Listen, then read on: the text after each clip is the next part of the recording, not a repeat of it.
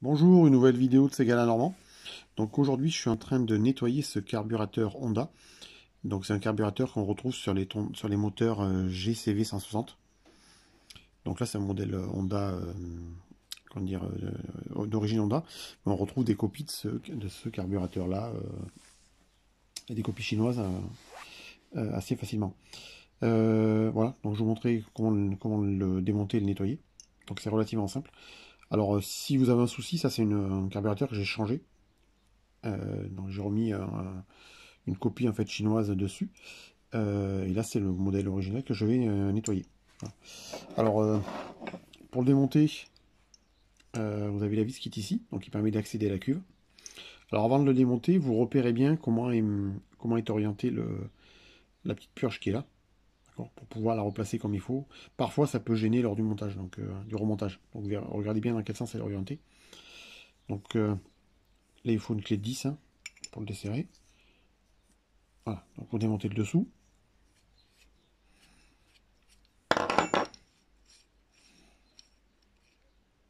Donc là, moi, je l'ai purgé. Euh, il n'y a, pas d'essence dedans. Normalement, vous allez avoir un petit peu d'essence à l'intérieur. Hop, vous voyez. Voilà. Donc, vous avez déjà le fond de la cuve qui peut être sale, donc à nettoyer. Au-dessous, on trouve le flotteur avec le petit pointeau qui est là qu'il ne faudra pas perdre. Alors toutes les pièces sont disponibles, vous pouvez retrouver tous les joints, donc le joint qui est ici, euh, le flotteur, le pointeau, vous avez même des kits euh, qui vous permettent de refaire le carburateur, euh, enfin toutes les pièces en entre guillemets d'usure, qui permettent de refaire ce carburateur là. Donc là, vous enlevez le petit axe du, euh, flotteur. Voilà. Et puis, normalement, en dessous, vous avez donc le flotteur avec l'emplacement ici du pointeau et puis le pointeau qui est tombé qui est là. Voilà, le petit pointeau avec son accroche de ce côté, on viendra le remplacer tout à l'heure. Donc là, on arrive à l'intérieur du carburateur. Donc, euh, en fait, sur ces carburateurs, vous avez deux gicleurs. Un gicleur qui se trouve ici, dans le trou qui est là, à ce niveau-là. Et puis un deuxième qui va être euh, sous la vis qui est là. Donc, faut pas oublier celui-là. Donc, on va commencer par celui qui est ici. Alors, pour le démonter, il faut un tournevis plat. Euh, il est un petit peu galère à défaire. Parfois, on est donc un tournevis assez fin quand même. Hein. Donc là on verra pas grand chose. Je vais démonter.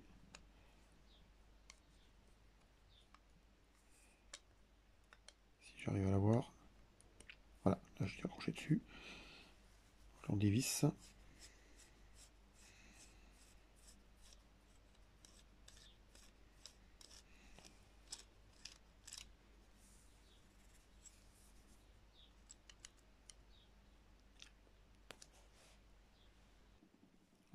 Donc là, j'ai eu la petite pièce. Donc là, vous avez un trou à l'intérieur qu'il faudra nettoyer. Puis ensuite, au, fond, vous avez le diffuseur. Donc c'est lui souvent qui est bouché. Alors diffuseur, des fois, il sort tout seul. Euh, souvent, alors euh, avec un tournevis, vous allez à l'intérieur légèrement et pousser dessus pour le faire descendre, s'il est coincé. Donc là,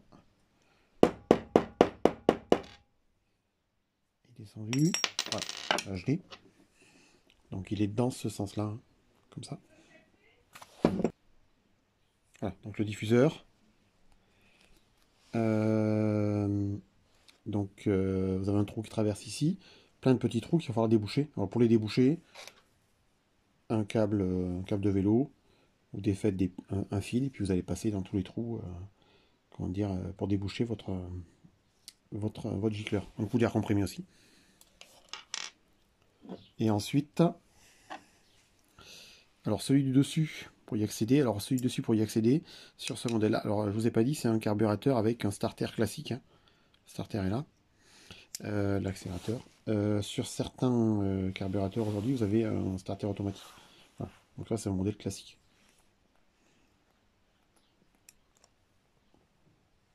Mais la, forme, le principe du carburateur, quoi qu'il en soit, reste à peu près le même. Hein. C'est juste la commande ici qui va changer. Euh.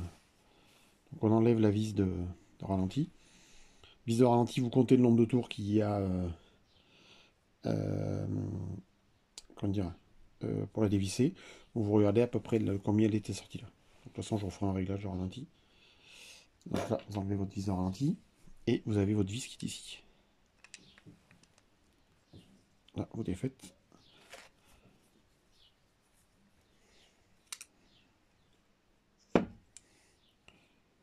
Et vous arrivez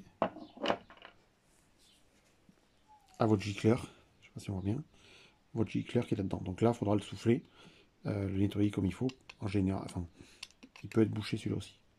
Alors je crois que c'est lui qui fait que si, votre tondeuse a euh, dire, un, régime qui varie, c'est-à-dire qu'elle a tendance à accélérer, ralentir, accélérer, ralentir, ça vient de lui, il me semble.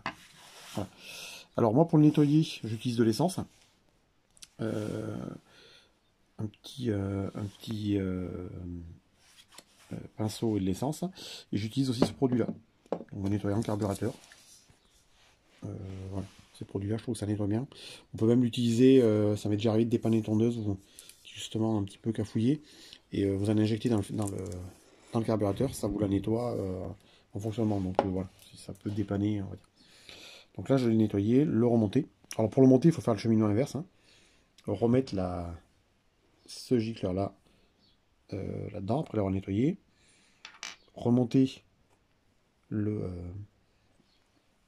le flotteur avec son pointeau euh, et rassembler tout dans l'autre sens. Donc là, je vais nettoyer. Voilà.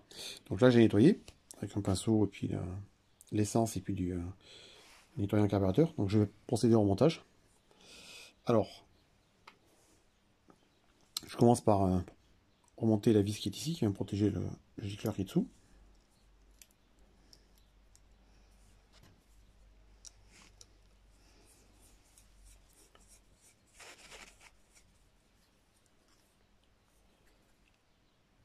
Voilà. Euh, je remets ma vis de ralenti. Donc, euh, la petite vis de ralenti ici. Je ne sais pas si on voit bien.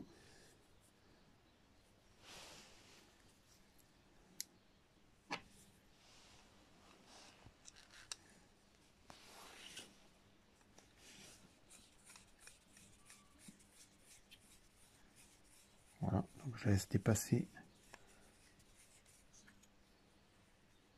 comme ça, comme il était à peu près à l'origine. Ensuite, donc il m'en reste mon gicleur, donc j'ai nettoyé, débouché, euh, que je remets dedans. Donc euh, la partie haute vers le haut, vers l'intérieur.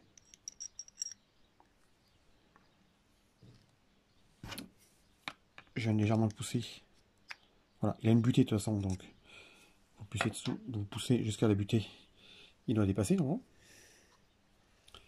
Et ensuite, votre, vis, alors vous ne vous trompez pas, il y a un côté pour le tournevis, hein, que vous venez revisser à l'intérieur. Donc elle est un petit peu toujours galère à enlever. Hein. Euh, le plus compliqué, c'est le diffuseur, qui peut être... Alors, s'il est coincé, vous mettez du euh, dégrippant, vous le laissez tremper. Hein, jusqu'à ce que jusqu'à ce que vous arriviez à l'avoir. Donc là. Ensuite, donc la partie entre guillemets délicate. Hein. Euh, donc vous prenez votre flotteur et le petit pointeau qui est là. Vous le placez, donc il y a un petit logement ici. Voilà, là il tient. Ça vous permet de l'enfoncer dans son. Alors le, son logement c'est le trou qui est là.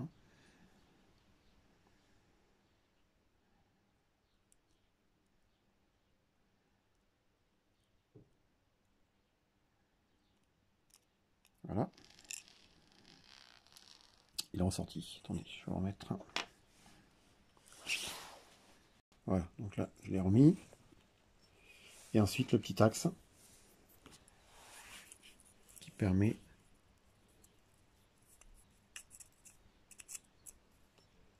Voilà. Donc là, vous vérifiez bien que votre pointeau descend avec le flotteur. Là, c'est le cas et vous n'avez plus qu'à remonter votre votre carburateur. Donc, en plaçant la vis comme elle était au départ et la vis de dessous qui permet d'assembler l'ensemble. Vous avez un joint dessous. Hein. Pas mettre le joint.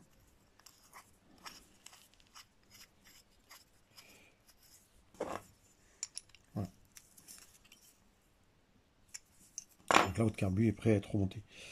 Euh, voilà, donc c'est relativement simple à nettoyer. Ils sont plutôt simples à démonter. Moi, j'utilise des, euh, des piges comme ça, donc des petites, euh, des petites tiges qui permettent de, lorsqu'on le démonte, vous enlevez la vis, vous mettez une tige, ça permet de tenir les, tenir les joints, et c'est plus facile à remonter derrière. Les joints, vous trouvez des pochettes, des kits de joints, c'est-à-dire quand on les démonte, en général, bah, ça fait, il, a fonctionné quelques années, donc les joints sont abîmés. Vous trouvez des kits avec tous les joints pour pouvoir changer, donc le joint qui vient ici, le joint qui vient là.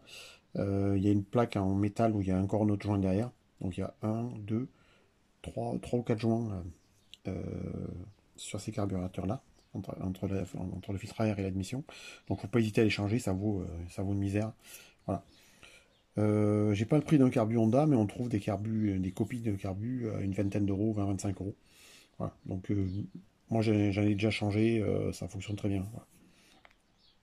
Donc, mais si vous avez un carbu qui est bon, qui est juste à nettoyer, ça vaut le coup quand même de lui faire un petit nettoyage et puis remettre des joints neufs et puis c'est reparti pour pour un tour. Voilà, bah, j'espère que cette vidéo vous servira. Hein.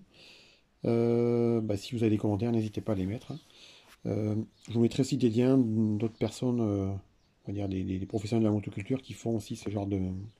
avec leurs vidéos. Je mettrai ça en description. voilà, bah, je vous souhaite à toutes et à tous une bonne journée. Au revoir.